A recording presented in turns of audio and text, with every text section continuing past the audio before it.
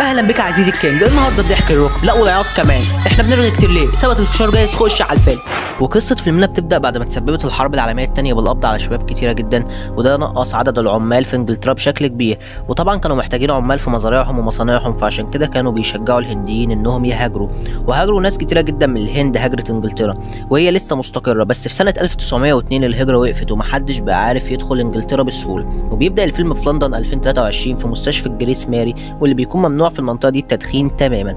وبنشوف المريضة اللي نايمة على السرير ولما بتشوف عامل النظافة معاه سجاير بتشدها منه. هات يا أولاد السجاير ممنوع التدخين هنا. وكده إيه النظام؟ لا كده خدي راحتك على الآخر. بس هتطلعنا اشربها بره. وفعلا بيطلعها وبيقف يراقب الدنيا. لكن مرة واحدة مش بيلاقيها. وبيكون كل الناس مستغربين سواء في المترو أو في الشارع بجهاز المحلول اللي هي ماشية بيه. وبتروح عند المحامي باتل وده بيكون مسؤول عن التأشيرات بتاعة الهجرة الشمال. طبعا بتخش عليه وبتقول له يا ابني الجزمة في التاشيرتي فبيطلعها بره وبيقول لها اسمعي مفيش أي تأشيرة هتوديك الهند عشان الموضوع ده صعب جدا. إنما تقدري تروحي الصين باكستان سنغافورة. إنما الهند دي تنسيها تماما. مفيش دكر أصلا هيدخلك الهند بعد اللي حصل. فبتقول له لا في راجل واحد بس اللي يقدر يوصلني الهند غصب عن التخين. بيقول لها مين؟ فبتقول له هاردي. بيقول لها قصدك الجندي المجنون؟ بتقول له أيوه. فبيقول لها أنت لسه بتكلميه؟ بتقول له لا طبعا الكلام ده كان في المحكمة آخر مرة. ما أنت كنت موجود معانا. بيقول لها يا ستي زمانه مات. يا عم فالله ولا فالك. بس لو لسه عندك سنتي شهامة هات رقم. وبعدها بنشوف المسابقة العالمية للجري في مدينة لاتو. وطبعا المسابقة دي بس والحكم بيعلن أسامي المتسابقين وبيقول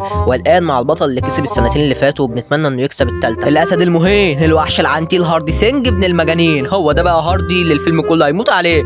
روح روح يا جدو ده أنت عتبة موت. وبيجي الأستاذ بتاعه جيتو وبيكون معاه التليفون بتاع هاردي وعمال بيرن وهاردي بيجهز للمسابقة. وفي نفس الوقت جيتو بيقول إن الاتصال من لندن وبيرد على التليفون وأول ما بيسمع الاسم بينصدم. وبعلو صوته بيقول هاردي. في الوقت ده المسابقة بتبدأ وجيتو بينزل يجري وراه بس مش بيلحقه. وهاردي ابن العنتيل بيسبق الكل وبيكون خلاص فاضل له كام متر وهيكسب بس جيتو بيمسك الميكروفون وبيقول هو اللي مشغلنا هو هو اللي مأكلنا هو نهار اسود أنا بقول إيه هاردي. اتصال من لندن مانو اللي بتتصل. هاردي بيسمع الاسم ده وبيوقف المسابقة وبيبص له وكل المتسابقين من الصدمة. رغم إنهم مش فاهمين حاجة هم كمان بس بيبصوا. وأول ما هاردي بيعرف إنها مانو بيروح وبيمسك التليفون جاري وبيقول لها ألو وهي من الصدمة ومن الفرحة في نفس الوقت مش بتكون قادرة ترد عليه وبتقول له أنت فين يالا بيقول لها أنا في لاتو. بتقول له أنا كنت بفكر فيك. وبتقول له عايزين نتقابل. فبيقول لها ليه؟ هو جوزك مات بتقول له أكيد يعني مش هحكي لك القصة كلها في التليفون وأنا عايزاك تيجي دبي يوم 21 بيقول لها ليه؟ فبتقول له هقول لك لما نتقابل. بيقول لها أكيد طبعا مش جاي. فبتقول له ليه؟ خايف مراتك تقفشك؟ قول لها حبيبتك القديمة في مشكلة كبيرة ومحتاجاك. هاردي بيسأل هي إيه المشكلة؟ فبتقول له تعالى يوم 21 وهقابلك شخصيا وبعدها بتقفل معاه وبتقول له جهز لي ثلاث تأشيرات سفر لدبي. بيقول لها ومين الاثنين التانيين؟ وبنشوف الاثنين الهبل دول. ومانو بتجيلهم في عربية وبيكونوا مستغربين هي خرجت إزاي فبتقول لهم هربت. المهم دلوقتي تجهزوا نفسكم عشان أروح الهند بيقولوا لها طلعتي تأشيرة فبتقول لهم لا هنروح دبي. بيقولوا لها هنعمل إيه في دبي؟ هنشوف الهند من برج خليفة. بص أنا همشي دلوقتي ولو عايزين تيجوا تعالوا. طب وإزاي هنروح الهند من دبي؟ فبتقول له هاردي جاي وهو اللي هيتصرف. بيسمعوا كلمة هاردي وبيموتوا من الفرحة. ووالي بيبيع محل الخياطة بتاعه ب 10000 بدل 25 وبيقول للواد مش فارق معايا عشان هرجع الوطن. وخالد بيصور المحل اللي شغال فيه وبيقول لصاحب المحل عشان تكون ذكرى فبيقول له اطلع يا حيوان عشان لسه فاضل لك 3 دقايق وتخلص شغل. فبيروح يجيب الشرشوبة وبيشرشب وشه. وبيقول له أنا راجع الوطن يلا وبيمشي. وبعدها الثلاثه بيروحوا المطار وهم في منتهى السعادة وفي الطيارة بيسألوها هارد هيوصل دبي إمتى؟ فبتقول له مش هيجي. بينصدموا وبيقولوا لها يا بت ده أنا بعت المحل بتاع الهدوم بتاعي. بتقول له يا عم أنا عرفته إن أنا في مشكلة. فبيفرحوا وبيقولوا كده هاردي جاي رسمي. وبيشغلوا فيلم هندي والثلاثه بيسرحوا. وبيفتكروا أيام زمان. وبيقولوا إحنا دلوقتي مش قادرين نستنى لحد ما نروح الهند زي من 25 سنة ما كناش قادرين نستنى لحد ما نروح لندن. وبيرجعوا لأيام زمان لما كانوا بيحلموا إنهم يسافروا. مشكلة مانو هي بيتها. خدوا قرض كبير وما عرفوش يسددوه. والراجل طردهم من البيت لحد ما يسددوا القرض وقعدوا في العشة اللي قدام البيت. أما بقى مشكلة خالد فهو بنطلون أمه. عشان نزلت تشتغل في المصنع والكل في الشارع بيبص على بنطلونه. وبالي مشكلته صوت مكنة الخياطة بتاعت أمه. الثلاثه اشتغلوا في شغلانات غريبة وخالد اشتغل في اللبس الواسع واتطرد من أول يوم بسبب إنه غلط في البنت التخينة اللي جوه. ومانو اشتغلت بتعمل فطاير بارصة. وربنا اسمها كده يا صديقي. وبالي اشتغل حلاق والثلاثه كل واحد فيهم كان بيواجه صعوبة في الشغل. وكانوا حلمهم يسافروا إنجلترا عشان كل الناس حاطة طيارة فوق سطح بيتهم. يوم بيروح الواحد بتاع تأشيرات مضروبة وبيقولوا له إنهم عايزين يسافروا إنجلترا. فبيقول لهم عندكم أملاك أو شهادات أو أي حاجة من الحبشتكنات دي؟ فبيقولوا له إحنا الجنط بيقول لهم بس كده سهلة. بيطلع لهم صورة واحدة اسمها الأنسة كاترين مواطنة بريطانية ومحتاجة تتجوز عشان ترجع بريطانيا تاني. وهي دلوقتي موجودة في الهند واللي هيتجوزها هيروح معاها. بالي بيقول له أنا هتجوزها. فبيقول لخالد خلاص هطلع لك تأشيرة شغل.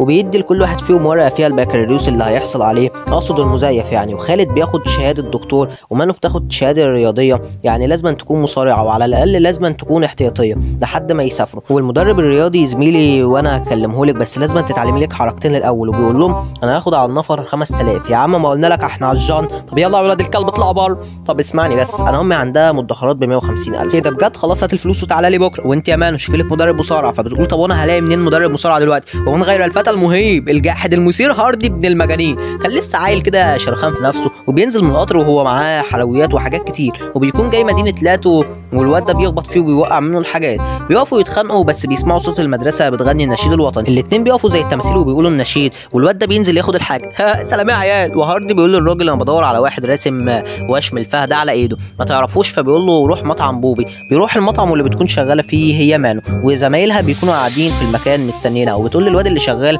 عندها أنا همشي بدري النهارده عشان أروح أتدرب عشان أنت عارف أسافر. فبيتعصب وبيقول لها ومين هيشيل الزباين؟ فبتقول له أنا مالي يا عم. بيقول لها أنت اللي هتشتغلي هنا يا وحتى أصحابك دول يمشوا من هنا ويلا ترضيهم بتقول له طب اخرس بقى خالص. وبتقلع اللبس وتروح تقعد على الترابيزة وبتحط رجلها في وشه روح بقى هات لي ليمون juice. ده أنا هعمل منك لبن جاموس. بيروح يجيب عصاية بس الشبوحة هاردي بيقف في سكته فبيقول له أنت مين يالا بيقول له أنا هاردي. سينج اسمح لي بقى أقدم لك احترامي وبيروح مزحلقه وجايبه على طيبة قلبه. فبيقول له أنت بتهجم عليا ليه؟ بيقول له عشان جندي وعارف الناس الحثالة اللي زيك. ودلوقتي أنا هديك ظهري وأنت هتقوم تضربني. وفعلا الواد بيقوم عشان يضربه بس هاردي بإيده. بيعمل حركة كده وبيروح جايبه على طيبة قلبه. أسود كده الفردي تنام. يا ترى الواد ده معستبني ولا ماشي كده على الله؟ ومانو بتعجب بيه وبتقول له ممكن تعلمني المصارعة؟ فبيقول لها سيبك انت انت مانجو والله. بس للأسف والله أنا جاي زيارة والقطر بتاعي هيمشي بالليل. بتزعل وبتمشي وهاردي بيقول لها ما تعرفيش راجل هنا من القرية راسم وشم الفهد على إيده. بتنصدم لأنها عارفاه وبتقول له تعالى معايا. وفي الطريق بتقول له ده أخويا. وبيقف عند بيتها وبيقول لها بيتكم جميل جدا. فبتقول له فعلا جميل بس ده كان بيتنا.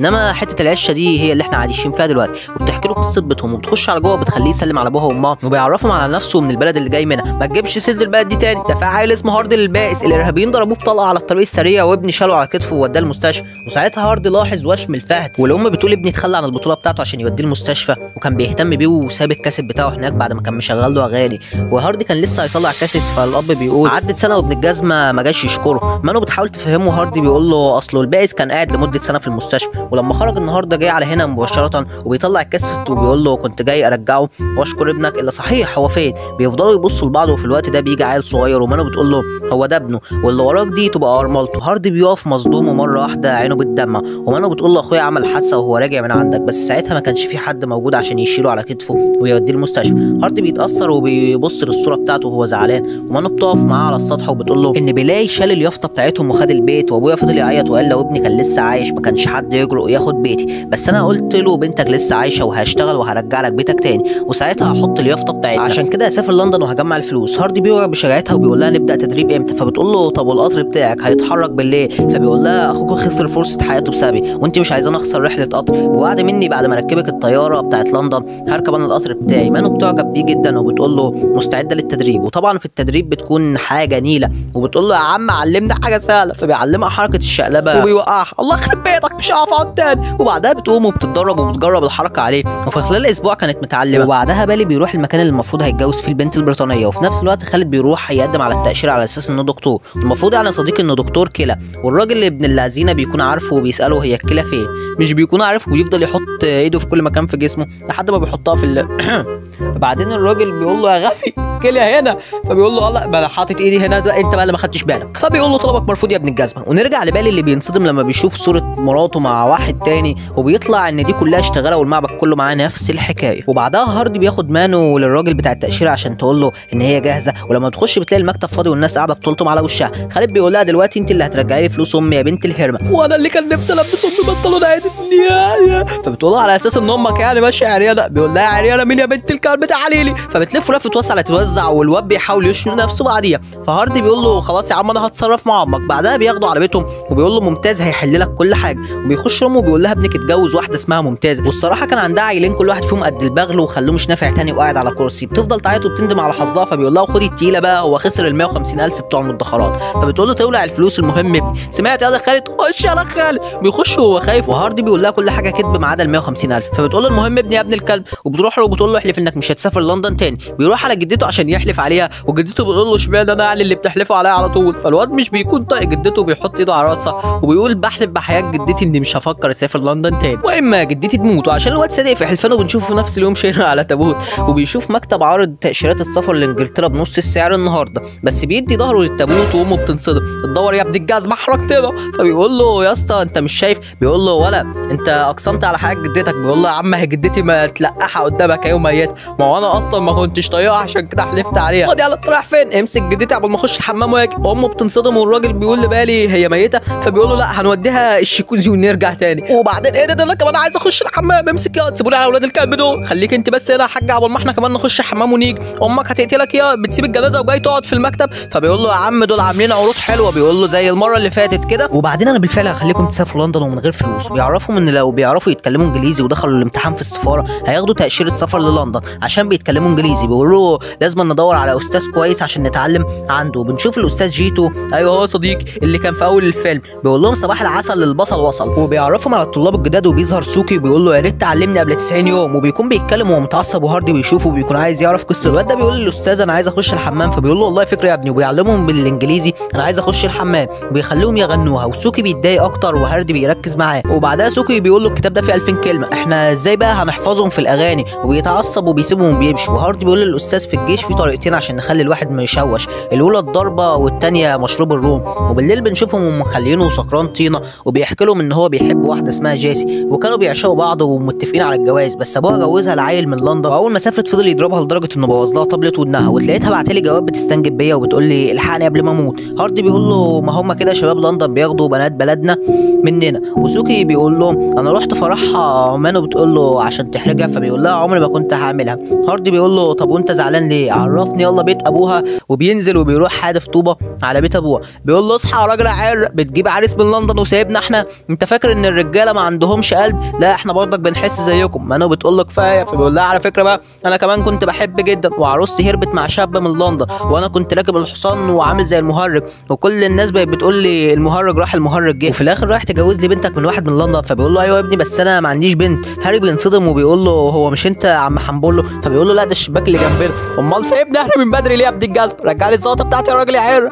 وبيروح على بيت عم حنبله وبيكسر الإزاز. وبيقول له اطلع يلا بس مانو بتربس الباب وبتاخده وبيجروا. وتاني يوم في الحصة مش بيكونوا فايق. الأستاذ بيقول لهم في الاختبارات هيقولوا لكم أنتوا لازم تتكلموا لمدة دقيقتين بالإنجليزي. سوكي بيقول له إحنا مش حافظين غير أنا عايز أروح الحمام وعايز أجي من الحمام. مش حافظين أي كلمة تاني بالإنجليزي. وإحنا محتاجين 70 كلمة إنجليزي. فبيقول له اتفرج على أفلام إنجليزي. كل أفلام إنجليزي. اعمل أي حاجة بالإنجليزي. بس فوق يا عم هاردي صبح صبح. وربنا أنا فايق. والأستاذ بيقول له تقدر توصف لي حد من صحابك بالإنجليزي؟ فبيقوم يغني وبيقول أي كلام. الكل بيفضل يضحك عليه والمدرس بيقول له ده انت أعظم مهرج يا جدع. هاردي بيتضايق ومانو كمان بتكون في منتهى الحزن عليه. وبتقوم تزعل الاستاذ وبتقول له ده مش مهرج هو بس مش بيتعلم إنجليزي. إنما انت لو عايز تتخانق معاه وقابلك في الشارع هيعمل منك شرب الكوارع. وبتشتم الكل وبتاخد هاردي وبتمشي. وهاردي بيكون سارح في جمالها وخلاص وقع في حبها. وبيفضل يتخيل نفسه بيغني وبيتقرب منها طول الوقت. وفي يوم بتكون بتتفرج على التلفزيون والبطل بيركع وبيعترف للبطلة بحبه. ومانو بتفضل تعيط وهاردي بيوقف الفيلم وبيسألها مالك فبتقول له هو ده الحب الحقيقي. أي راجل لو عمل كده مع بنت استحالة ترفضه. وهاردي بيفضل مركز معاها وبيرجع يشغل الفيلم ومن بعدها بيتقربوا من بعض أكتر. وفي يوم مانو بتشتري طيارة وبتدخل بيها المعبد وبتصلي وطبعا بتكون بتدعي إنها تسافر لندن. وهاردي بيفضل باصص لها فبتقول له أنت بتبص لي كتير ليه؟ دلوقتي تركز في الصلاة. لما نروح لندن أبقى بص لي براحتك. فبيفضل يضحك وبيكمل صلاة.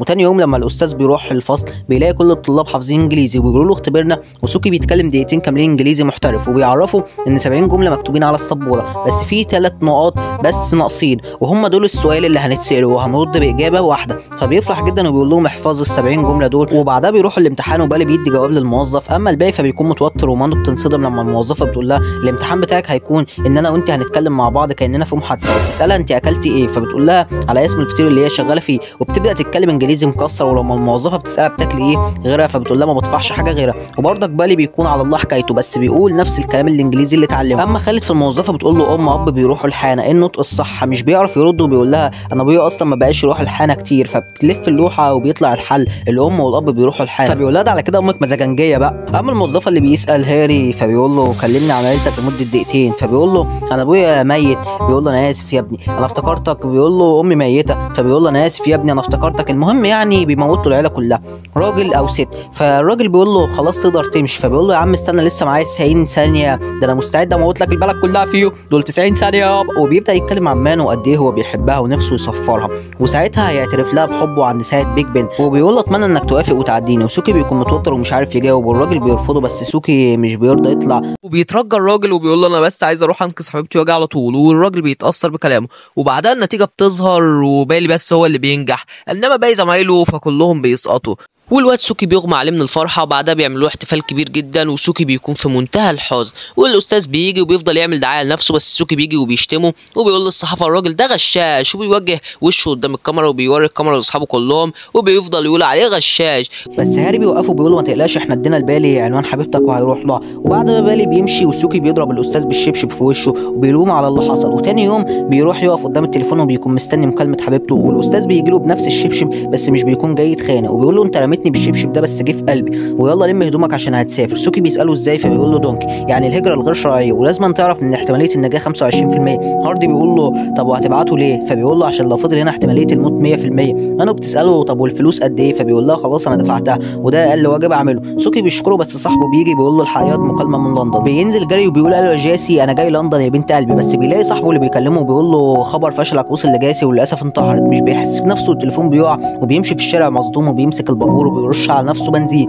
وهاردي بيشوفه وبيجري عليه بس بيكون ولع في نفسه وبيروح يطفيه بس بيكون فات الأوان وبيقول له عرف جاسي إن خلاص خدت التأشيرة ورايح لها وبيموت وهاردي بيحضنه وبيفضل يعيط وبعدها بيحرقوا جثته. تحرقوا إيه؟ ما رايح دنيا وأخرة مولع وهاردي بيقول حبيبته انتحرت وهو ما راحش لندن عشان مش بيعرف يتكلم إنجليزي. إحنا حكمنا البريطانيين لمدة قرن وما فرضناش سيطرتنا على حد إنه يتكلم إنجليزي وإزاي هم يطلبوا مننا كده؟ وادي صاحبي مات بسببهم وبيقول لمانو وحياتك عندي لا أديك لندن. وإحنا الثلاثه هنرمي رماد صاحبنا جنب حبيبته. إحنا ما نملكش تأشيرة بس الدكر يوقفنا. وبعدها هاردي بيبيع بيته عشان تمن الهجرة الغير شرعية. وكمان اتنين صحابهم انضموا لهم في السفر. وبيكون الاتفاق إن في مركبة هتوديهم باكستان ومن هناك هيتنقلوا في عربية لأفغانستان وهيسيروا كده لحد ما يوصلوا لندن. وهاردي بيقول للراجل بس هات لي رقم العملاء عشان ما نتسوحش في أي بلد. والبنت دي هنسميها ياسمين وبتقول إنها قبل ما تمشي هتودع بلدها وبتاخد تراب وبتحطها في العلبة بتاعتها. وبعدها بيتحركوا بالمركب ومرة واحدة خالد بيشوف حاجة. وهاردي بيبص بالمنظار وبينصدم منه حارس. والمركب بيقف والراجل بيقول ما يخصنيش من هنا أنتوا لوحدكم. يا إما ترجعوا معايا هاردي بيقول له الكلام ده عندها. وبيبص وراه بيلاقي حبال في المركب وبنشوفهم بالليل وهم ماشيين وحاطين أجهزة تنفس فوقهم ومانو بيعدي من جنبها تعبان فبتترعب وبترمي الجهاز وبتطلع على وش المية. الحارس بياخد باله بس هاردي بيشدها والحارس بيشغل النور وبيفضل يضرب بالنار. وبيفضلوا يعوموا وكل ده هاردي مش معاه جهاز ومانو خايفة عليه. وبعد ما الحارس بيوقف الجهاز هاردي بيطلع على وش المية وبيلبس الجهاز بتاعه. وبيقول إحنا فضلنا ماشيين في المية لحد تاني يوم ووصلنا باكستان. ومانو بتقول له ما تعملهاش تاني وتموت نفسك عشاني فبيهزر معاها وبيقول لهم يلا يا رجاله عشان نكمل. وبيوري خالد صور بالي واللي بيكون بقى عنده بيت وعربية وكل ده في ست شهور بس. وبيكملوا طريقهم في عربية ثلاجه وهاردي بيغطي مانو بالجاكيت بتاعه عشان خايف عليها. وبيفضلوا يهزروا مع بعض في باقي العربيات ومانو بتكون معجبة بيه. وبيقولوا إن هم فضلوا ماشيين كتير جنب الرصاص والقنابل وكان الخطر خلاص قريب منهم. ودخلوا حدود إيران بفلوس ومشينا يومين كاملين في الصحراء عشان نوصل للقطر اللي هياخدنا لتركيا. وساعتها الجيش الإيراني شافهم وهاردي بيقول لهم كملوا بس الظابط بيقول له اقف عندك يالا وبيبص لهم وبيشوفهم خايفين وبيقول لهم اجروا. هاردي بيقول لهم بلاش وبيخلي مانو وخالد واقفين جنبه وبينادي للثلاثه التانيين بس العساكر بتضربه وبيرقدوهم على الأرض. والظابط بيطلع بالقناصة بتاعته وبيقتل أول واحدة واللي هي ياسمين. أخوها بيرجع عليها بس بيقتله هو كمان. والتالت عشان الرجولة زيادة فبيمسك طوب عشان يقتله بيها بس بيقتله هو كمان. وبيرصص الثلاثه قدامه عند الخيمة بتاعته وبيكون معجب بمانو وبيقول لها تعالي على جوه. ولما تبص لهاردي بيكون هيقتلها بس هاردي بيقول لها قومي على جوه وبيجبرها إنها تدخل معاه. وبيقول لهاردي يلا اطلع بره ومانو بتفضل ماسكة فيه فبيزقها. والظابط بيروح عشان يعتدي عليها بس هاردي بيمسكه وبيكعبله وبيقول له اثبت يا ابن أمك وبيفضل يضربه وبيخرم جسمه كله لحد ما بيقتله وبيروح مقعده على الكرسي بيحط في بقه السجاره وبيفضل يخبط في الحاجة والجنود اللي بره واحد فيهم بيروح عليه بس هاردي بياخد منه السلاح وبيقتله والتاني بيمسك صاحبه وهاردي بيشيل الستاره والواد بيشوف القائد قاعد وهاردي بيرفع في راسه السلاح وبيفضل يقول له نزل سلاحك وصاحبه بيقول له النبي يا اسطى نزل سلاحك بس هاردي بواحدة هيتشوت من بين دراع صاحبه وبيجيب أجل الواد وبياخد منه وصاحبه وجيركن البنزين وبيمشوا وبيروحوا يرشوا بنزين على أصحابهم وبياخدوا تراب بلدهم وبيولعوا في اصحابهم وبعدها بيركبوا القطر وهاردي بيهزر مع مانو عشان تفك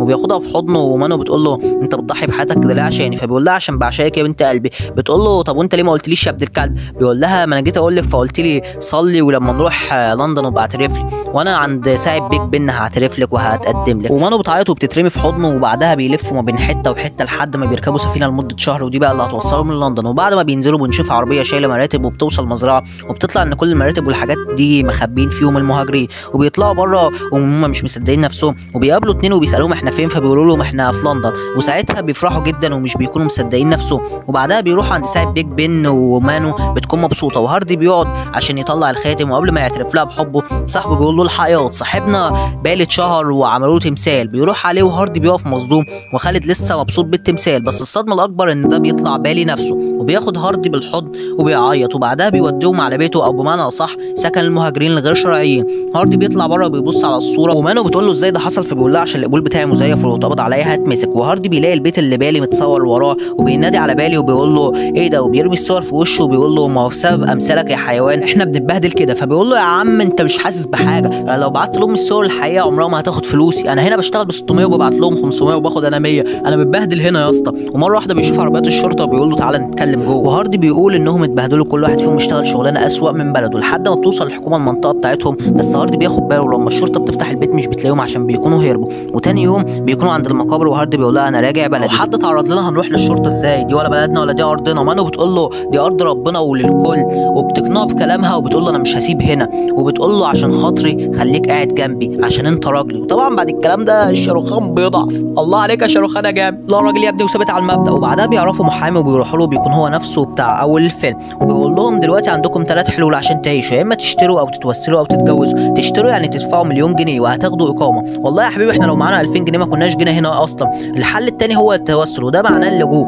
وده معناه إن إنجلترا هتعتبركم لاجئين من الهند. يعني بمعنى صح هتستغلوا رماد صاحبكم وتقولوا إن الهند حرقوا صاحبكم. وأنتم خايفين وجايين لاجئين. هاردي بيقول له خش على الحل التالت عشان بلدي ما قتلش صاحبي. يا عم أنت بتقول لي الكلام ده؟ مش هيتعرض على التلفزيون. بص يا ابني أنا جندي عمري ما هينكر من بلدي. خلاص يبقى الجواز هو اللي هيديكم الجنسية. بالمعنى هتتجوزوا لمدة سنة. بيقولوا له هي الناس غبية فبيقول لهم لا ما هي الناس هنا بتاخد فلوس. وبيعملوا كده. وبيقول لهم مثال الواد اللي وراكم ده. خالد بيقول له لو عايزني اتجوز راجل واخد الجنسية أنا موافق فبيقول له لا يا حبيبي الكلام ده لمانو هاردي بينصدم ومانو بتقول له لا. بيقول لها ما هو لو انت لاجئه هتتجوزي على الشيك ومانو بتبص على الواد وبتبص لهاري بنظرة يعني. فبيقول لها ماشي. وبعدها بتتجوز في الكنيسة عشان الجواز يتم فلازم يبوسوا بعض. الواد بيكون هيبوسها ومانو بتقول له لا. ولما بيحاول بتشيله بنفس الحركة وبتجيبه على الأرض. بتقول له يا ابن الجزمة عايز تبوسني؟ بيحاول بالعافية بس بيجي الوحش ما بيريحش. وبيقول له ريح يا جحش بيعمل وشه جزامة وبيسأل مانو كان عايز إيه؟ مفيش يا عم ده كان عايز يبوسني. يبوسك هو مفيش راجل هنا ولا إيه؟ وبيروح يشرمحه فبيقول له المحامي هو اللي قال لي أعمل كده. خلاص يا هاردي من غير بوسة الجواز مش هيتم. طب تعالى لي وأنا هقول لك إيه اللي هيتم. وربنا الكائن هو اللي قال لي أعمل كده. الكائن بيطلع يجري وهاردي بيجري وراه. والكائن بيستخبى وبيقفل على نفسه وبيتصل على الشرطة. وهاردي بيقول أنا هنا راجلها والشرطة بتوصل والمحامي بيفلت. والشرطة بتقبض عليهم كلهم. بس مانو بتقول لهم بتقبضوا عليا ليه؟ ده جوزي وبتديله بوسة كده على الطاير. بس الظابط بيعرف يوقعهم في الكلام. وبيسألها لون عربيته إيه؟ فبتقول له ما أعرفش. هو أصلا ما عندوش عربية. وفي الآخر كلهم بيدخلوا السجن وهاردي بيقول لها أنا آسف. والمحامي بيجي لهم وبيقول لهم دلوقتي ما قدامكمش غير إن أنتوا توروا الرماد بتاع صاحبكم القاضي وساعتها هتبقوا لاجئين. والقاضي هيصدقكم. وبعدها بيترحلوا على المحكمة والمحامي بيدي لهاردي الرماد وبيخش جوه والقاضي بيطلب هاردي أول واحد. هاردي بيحط الرماد وبيلبس السماعة. القاضي بيسأله إيه ده؟ فبيقول له رماد صاحبي. بيقول له أنت عايز تكون لاجئ عشان حياتك مهددة بالخطر في بلدك؟ فبيقول له أنا مش متهدد بالخطر في بلدي. أنا عجزت عشان أجيب تأشيرة تجيبني هنا. أنتوا كل حاجتكم ولبسكم وشربكم من بلاد بره. طب ليه بتمنعونا إن إحنا نخش بلدكم؟ فبيقول له يا ابني إحنا مش بنمنع حد بس التأشيرة عشان نعرف مين المجرمين. فبيقول له مجرمين إيه يا عم؟ المهاجرين الغير شرعيين مش مجرمين ولا حاجة. هم بس عايزين يحققوا أحلامهم. بيقول له أنت تعرف إن نص مليون بيخش لنا كل سنة هجرية غير شرعية؟ وبسبب كده البريطانيين ما بقوش لاقيين شغل. فبيقول له مين دول اللي مش لاقيين شغل؟ أنت لما يزيد لكم نص مليون كل سنة فده الشغل بيكتر واقتصاد بلدك بيزيد مش بيقل يا خواجة. القاضي بيقول له إحنا هندخلكم في حالة الحرب مش في حالة زي دي. بيقول له طب وايه الفرق بين الموت برصاصه والموت من الجوع؟ ودي نتيجة اللي حصل مع صاحبي سوكي. كان عايز التأشيرة لمدة يوم يجي ينقذ حبيبته ويرجع ولما ما خدهاش ولع في نفسه بيفضل يعيط وبيفتكر صاحبه وبيفضل يتكلم عن المعاناة اللي المهاجرين بيعيشوها. والقاضي بيتأثر بس بيقول له اسمع يا ابني انت صعبت عليا بس أنا ما أقدرش اديك غير لجوء انما غير كده ما أقدرش. لا أنا مش بواجه اي خطر في بلدي دي البلد اللي شالتني وأنا عمري ما مس سمعتها بكلمة وحشة. وانت قاضي فعلا ودلوقتي عايزك تطبق العدل. حكمت المحكمة إن هاردي سينج دايلون هيترحل على الهند. مانو بتنصدم وهاردي بيشيل السماعة وبيقول تحيا الهند. والقاضي بيقول لهم فعلا صاحبكم راجل بجد بس لو حابين تفضلوا هنا لازم تكونوا لاجئين. وبيطلب إن مانو تيجي القاعه هاردي بيمسك إيديها وبيقول لها يلا نرجع وطننا. فبتقول له أنا هنا عشان أستعيد وطني. يا هاردي وبتشيل إيده وبتروح للقاضي. بيسألها أنت هي حياتك مهددة بالخطر في بلدك. بتفضل تعيط وبتقول له أيوه خليني لاجئه هاردي بيسمع الكلام ده وبيمشي وهو في قمة الصدمة. ومانو بتتدمر وبتفتكر كل ذكرياتها مع هاردي وقد إيه سعيدة. وبتطلع تجري على بره وبتناديله فبيفرح جدا ومانو بتترمي في حضنه بكل قوتها. وبتقول له هتوحشني جدا. الكلام ده بينزل على قلبه زي السهم. وبيركب العربية العربية وبيمشي ومانو بتقعد في مكانها وبتعيط. وهاردي بيترحل على الهند ومانو بتستسلم للحياة اللي هي اختارتها. وبنرجع للوقت الحاضر لما بيكون هاردي مستنيها وبتكلمه وبتسأله انت فين. وأول ما بيشوفها مش بيكون مصدق نفسه. ومانو أول ما بتشوفه بتفرح جدا. إن حبيبها قدامها بعد كل السنين دي. وأصحابه كمان بيجوا له وبيسلموا عليه. وهاردي بيقول لهم طب أنتوا ليه ما جيتوش على الهند على طول؟ عشان إحنا لاجئين. فعمرنا ما هنخش الهند ولا هناخد تأشيرتها. والهند نفسها هي اللي رفضت كده. وبيبدأ يسألهم أنتوا اتجوزتوا ولا لأ. فبيفضلوا يهزروا معاه وبيقولوا له أيوه اتجوزنا والكلام ده كله يعني. ومانو بيسألها عن جوزها أرجون وبنعرف إنها بعتت له دعوة الفرح بتاعتها. الكل بيقعد ساكت وبينصدم فبيقول لها أنا آسف هو ميت أوعي يكون طفش بسببك يا بنت فالكل بيفضل يضحك وهاردي بيكتشف إنها ما اتجوزتش أصلا. وإنها طبعت دعوة واحدة بس عشان تبعتها له وبتقول له عملت كده عشان تنساني وتتجوز عشان لو أنا ما عملتش كده هتفضل مستنيني لعمرك كله. وبتقول له أنت اتجوزت واكيد مراتك مش أجمل مني فبقول لها سيبك بقى من الكلام ده وعرفينا الخطة دلوقتي هنعمل إيه. هجرة غير شرعية تاني مش كده؟ فبتقول له موضوع الهجرة هياخد ست شهور. يا ستي ومالك مستعجلة كده ليه؟ وعايزة تختصر الست شهور. أيوه بختصر عشان ما قداميش غير شهر واحد بس وهموت. هاردي بينصدم واصحابه بيعرفوه إنها عندها ورم في دماغها وهربت من المستشفى وعشان كده هتموت بعد شهر. وهاردي بيقوم بعيد عنهم ومانو بتقول لهم سيبوه ده جندي ومش هيعيط قدام حد. وهاردي بيفضل يصرخ ومانو بتروح له وبتسأله أبويا حط اليافطة على بيتنا. بيقول لها لا حط حاجة تانية. وأنا كمان حطيت حاجة على سقف بيتك. بتقول له طيارة أكيد. فبيقول لها لا هخليك تشوفيها بنفسك. فبتقول له رجعني بلدي عشان ما شفتش أبويا من 25 سنة.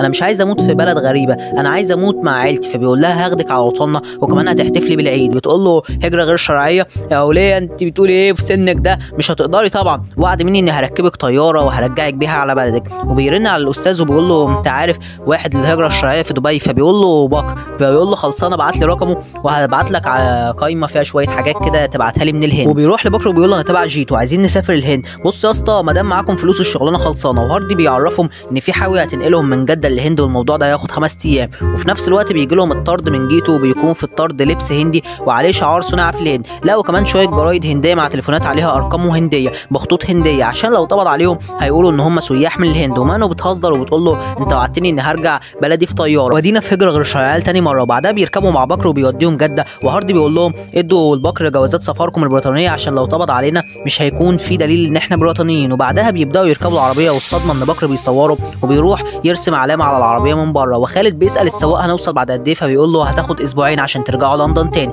بينصدموا عشان العربية رايحة لندن مش الهند. وبكر بيقول للسواق اتحرك وهاردي بيرن على بكر بس ما بيردش عليه. لا وكمان بيبلغ عنهم الشرطة والشرطة بتفضل تطارد العربية وهم راكبين في العربية وهيتجننوا. بكر بيبعت الصور للشرطة والعربية بتوصل مينا والحاوية بتاعتهم بتتخزن. وبكر بيوصل مع الشرطة بيعرفهم الحاوية من الرسمة. بينزلوا الحاوية ولما بيفتحوها بيلاقوهم لابسين لبس هندي وشنطتهم مليانة بلبس وجرايد هندية. عمر مش حمار يا حبيبي منك ليه؟ بكر بعت لي صور دي ولو أنتوا هتكذبوا هتتسجنوا 50 سنة. ودلوقتي أساميكم وجنسيتكم. هاردي بيعرفه على نفسه وبيقول له أنا هندي وبالي بيقول له أنا بريطاني لا ومش هو لوحده هو والاثنين التانيين. الظابط بيقول له أنت فاكرني أصدق إن الثلاثه دول بريطانيين وبالي بيقول له ده إحنا رايحين على الهند. ما تكدبش يا جلاب عشان اللعبة انتهت. دولاب مين يا ابن الكلب؟ بص يا عم الحاج يا زبوطه إحنا كلنا هنديين والبنت دي اسمها تشاملي والعيال دي برضك هنديين معايا. بالي بيقول له أنا بريطاني واسمي بالي. طب هات جواز السفر أنا اديته لبكر. اديته لمين يا ابن الكلب؟ وأنا أعرفك. طب أنت تقدر تثبت لي إن اسمه جلاب أيوه طبعا. هات يا ابني التليفون ده. بص يا عم الحاجة زبوطه كل الأرقام دي هندية. الظابط بيرن على رقم فيهم وبيكون جيتو قاعد قدام سنترال تليفونات. والتليفون بيرن وبيقول انت فين يا جلاب ما تقلقش صاحبي مستنيك في لندن. وبعد ما بيقفل السكة خالد بيكون هيتكلم فبيقول له اخرس خالص. يالا انت مش شايف يا زبوطه اللبس الهندي؟ أنا بساعدك يا عم وعايزك تسيبني. بص يا ابني أنا قلت لك ان عمر مش حمار. ولا أنا حمار يا ابن ولد السلام عليكم أنا بقى. مش ده جواز السفر؟ في النيل يابا بص أنا كنت بساعدك وانت مش عايز. ودلوقتي بقى لو ذكر يثبت في المحكمة ان إحنا هنديين. وحياة أمك لا في المحكمة. وفي خلال أسبوعين هكون شحنكم على الهند. اصل عمر مش حمار. وهاردي بيكون فاهم كلامه وبيروح لمانو وبيقول لها ترجمي الكلام واول ما بتيجي تترجم بتفرح وبتقول له هيرجعنا الهند. وكمان في طيارة. وبكر بيغمز لهاردي وبنعرف إنهم متفقين سوا وإن كل ده هاردي مخطط له. وبيقولوا إن الهند كانت هتكشف إن إحنا الثلاثه بريطانيين بس الأسامي اللي هاردي اداها لنا في جوازات السفر طلعت لثلاثه مفقودين أصلا في إيران. ولما القضية راحت لأهل العيال قالوا إن هم سافروا في هجرة شرعية من 25 سنة. والتقرير قال إن الهند هتحتضنهم من تاني. وبياخدوا التأشيرة الرسمية وبيكونوا راجعين في المطار وهم مبسوطين جدا. مش أنا وعدتك يا ابني إني هرجعك في الهند خلال أسبوعين؟ خالد بيديله التحية وبيقول له تسلم. بيكون مستغرب وبالي كمان بيعمل نفس الحركة. وهاردي بيقول له عمر مش حمار. ده الحمار الملك. الظابط بيكون مصدوم وبيسأل مانو أنتم فرحانين ليه؟ فبتقول له أصل انت رجعتنا الوطن أوبا اسم الله يا حمار. مش أنا يا بنت وعدتك إني هرجعك بلدك في طيارة. بتقول له يا ريت مراتك معاك عشان تبوسك. وبتفضل تضحك لما بيوصلوا بلدهم بيفضلوا يشموا في الزرع وبيكونوا مبسوطين جدا. ومانو بتفتكر أيامها مع هاردي. وبتقول له وقف العربية وبتنزل على الأرض بس حافية. وبتفضل ماشية وهي مبسوطة وبيروحوا عند نفس حلبة المصارعة. وهما الاثنين بيكونوا بيلعبوا بس طبعا مش زي زمان. وهاردي بيسيبها تشيله وبتوقعها على الأرض. وخالد بيرجع لأمه اللي بتكون بنفس البنطلون وبالي بيرجع لأمه اللي خلاص بقى عندها محل خياطة كبير في بيتها وأول ما بتشوفه مش بتكون مصدقة نفسها. ومانا بترجع بيتها وهي بتعيط وبتفتكر أيامهم حتى لما صاحبهم مولع في نفسه. هاردي بياخدها وبيوريها اللوحة اللي قدام البيت واللي الصراحة مش عارف هي مكتوب عليها إيه. ولما بتخش بتفرح جدا إنها رجعت وخصوصا إنه عامل لها فوق البيت ساعه بيج بن وبتخش لأبوها وأمها ومش بيكونوا مصدقين نفسهم وبتروح تحضن أبوها وبتترمي في حضن أمها. وهاردي بياخدها فوق السطح وبيقول لها كل حياته اتأثرت. فبتقول له ما عدا أنت بيقول لها مين قال لك كده؟ في حد قال لي إن ما دام الحياة ما انتهتش فلسه في فرصة. بتنصدم من كلامه وهاردي بيقول لها أنا اتعلمت الإنجليزي عشان عارف إنك هترجعي فبتقعد قدامه وبتقول له طب سمعني كده لمدة دقيقتين. بيبدأ يسمعها في نفس الكلام إن عيلته كلها ميتة وبيقول لها أنا وحيد ودلوقتي ناقصني زوجة. أيوه ما أنت متجوز فعلا. عمري ما وقفت التفكير فيك يا بنت قلبي وبرضك عمري ما اتجوز. كلامه بيصدمها أكتر وبتقول له طب أنت ليه ما اتجوزتش؟ فبيقول لها عشان لما مانو تدور على هاردي تلاقيه بكل سهولة. فبتقول له أنت معاك حق زي ما جيت وعدت الشريط من الأول وأنقذتني.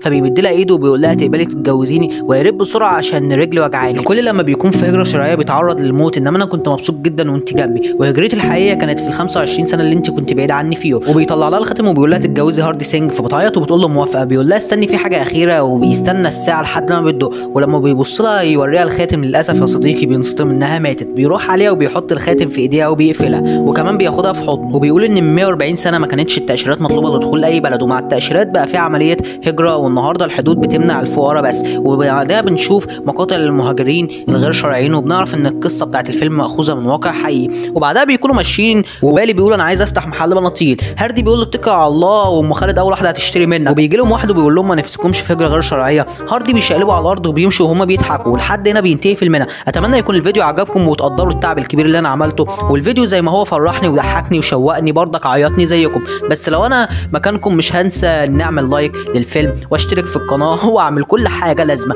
وأكتب comment من القلب وتفعيل زر الجرس. وكفاية بقى لحد كده. وأشوفكم الفيلم الجاي. سلام.